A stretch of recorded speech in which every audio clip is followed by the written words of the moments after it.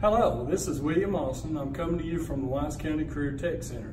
Today we're going to visit our cybersecurity class here at the Tech Center, and I'd like to introduce you to our instructor, Miss Ashley Lawson. Hello, Miss Lawson. How are you today? Doing well. How are you? I'm fine. Uh, could you tell us and tell the students just a little bit about the cybersecurity program here at the Career Tech Center? Sure. Um, here at the Career Tech Center, we have three different levels of cybersecurity. The first class is the cybersecurity fundamentals, where students learn the basics of computers, computer literacy, that sort of thing. Um, we have a certification for that. You can earn the IC3 certification. Our next level is cybersecurity software operations.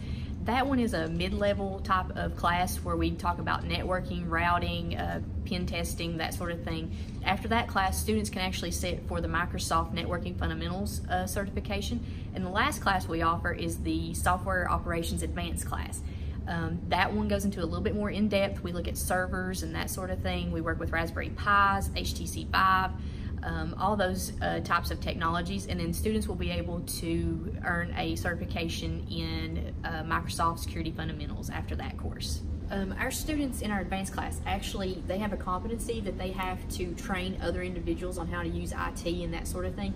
And we've been doing a cross curriculum type thing with culinary, CNA, electrical, auto tech, and criminal justice. Um, we actually have a virtual reality criminal justice uh, app called Police um, VR. They can come in, they can learn how to load their belt, arrest people, drive a car, write a ticket, that sort of thing.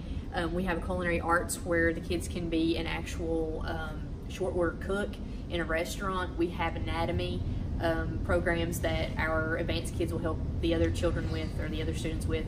Um, they can dissect a heart, all this stuff. And a lot of people wonder how this is incorporated with cybersecurity. Well, every industry has some level of cybersecurity that they must um, understand. They um, just think about patient information. You've got to secure that. Um, FBI, they're always looking for that hacker in someone's basement with the Cheetos on their belly. Um, the uh, downstairs auto tech guys, they are looking to um, maybe work on an engine that we just can't afford budget wise, but they can come here and work on the VR. Um, you also think about now the self driving cars they can be hacked. Cybersecurity comes into that play. All this ties in together. I hope you enjoyed your visit at Wise County Career Tech Center with our cybersecurity program. And once again, we'd like to invite you to stop by or give us a call or email us here at the Wise County Career Tech Center about any of our programs. Thank you and have a great day.